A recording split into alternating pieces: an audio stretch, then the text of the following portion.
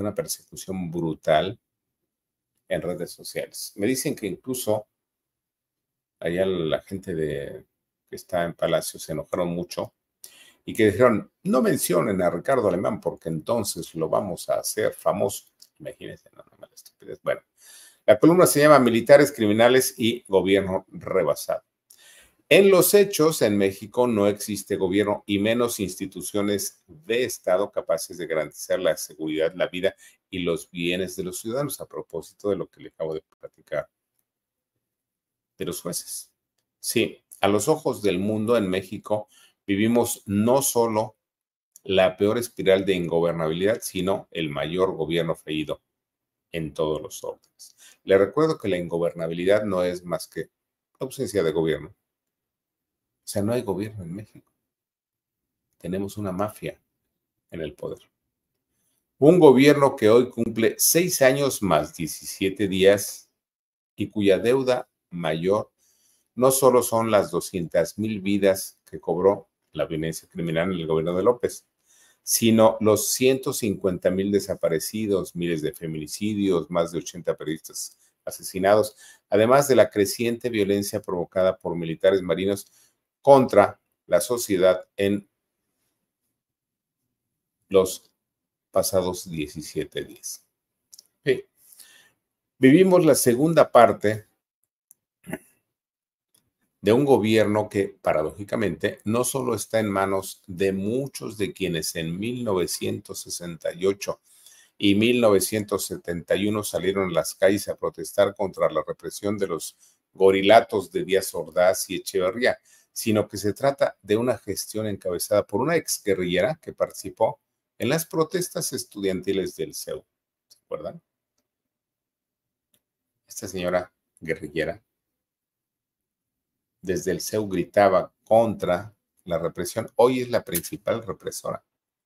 Y es que en el naciente gobierno de la chabacana izquierda de Claudia Sheinbaum, no solo se institucionalizó la militarización de la vida nacional, sino que militares y marinos matan a ciudadanos a diestra y siniestra, igual que en los gobiernos de Díaz Ordaz y Echeverría, al tiempo que desde Palacio se ordenó reprimir la protesta social mediante la bota policíaca. desde que empezó este gobierno, la represión contra las protestas es cotidiana, por si se les había olvidado. Y todo ello en medio de una domesticada Comisión Nacional de Derechos Humanos en manos de una piedra, ya sabe quién es la piedra, que solo sabe brindar impunidad a los criminales de Estado y a los crímenes de Estado. Y es que la violencia y es que la violencia criminal que hemos vivido tanto en el sexenio de Obrador como en la naciente gestión de la señora presidenta, la fallida estrategia de combatir al crimen nos lleva a la convicción de que se trata de verdaderos criminales de Estado que están en el partido Moreno. Pero si dudan que el brazo, el abrazo y no balazos, que es un fracaso sexenal, recuerden que en los primeros 15 días del gobierno de la Espuria se cometieron casi 1.500 asesinatos violentos, casi 80 asesinatos por día. En pocas palabras, queda claro que nada ha cambiado en cuanto a la violencia criminal con el cambio de gobierno. ¿Qué nos dicen los que votaron por la señora Claudia? ¿Creen que cambió algo? Peor aún, también en, las dos primeras semanas de la gestión de la señora Sheinbaum, elementos del ejército mexicano asesinaron a por lo menos 25 civiles y las Fuerzas Armadas han secuestrado al menos a 20 personas en los estados de Tamaulipas, Chiapas, Colima, Guerrero, Jalisco, etc. Por ejemplo, el 1 de octubre, elementos del ejército, 1 de octubre de este año, de este mes, elementos del ejército asesinaron a seis migrantes que viajaban por las carreteras de Chiapas. El 6 de octubre se difundió un video que muestra cuando efectivos de la Marina entran a un domicilio particular en la capital de Colima del que se llevaron a seis personas con vida. Y horas después, esas personas aparecieron ejecutadas. La mentirosa versión oficial señala que las seis víctimas perdieron la vida en un enfrentamiento entre criminales, lo que es falso. Se los llevaron los marinos. A su vez, durante un segundo, eh, durante el segundo fin de semana del naciente gobierno, de nuevo militares asesinaron a cuatro civiles en las calles de Tamaulipas, entre ellos una menor de edad, un estudiante y una enfermera. Todo ello sin contar con el asesinato de los alcaldes de Chilpancingo, Oaxaca, Chiapas, del fiscal de Jalisco y de las masacres ocurridas en Sinaloa, Sonora, Tabasco, Guerrero, Jalisco y Colima, entre otras entidades. Y ahora las preguntas. ¿Qué le ocurre a una sociedad como la sociedad mexicana que parece conforme con la normalización de la violencia del crimen? ¿Hasta cuándo entenderá la sociedad mexicana que no es una graciosa concesión contar con un gobierno eficiente, honesto y responsable?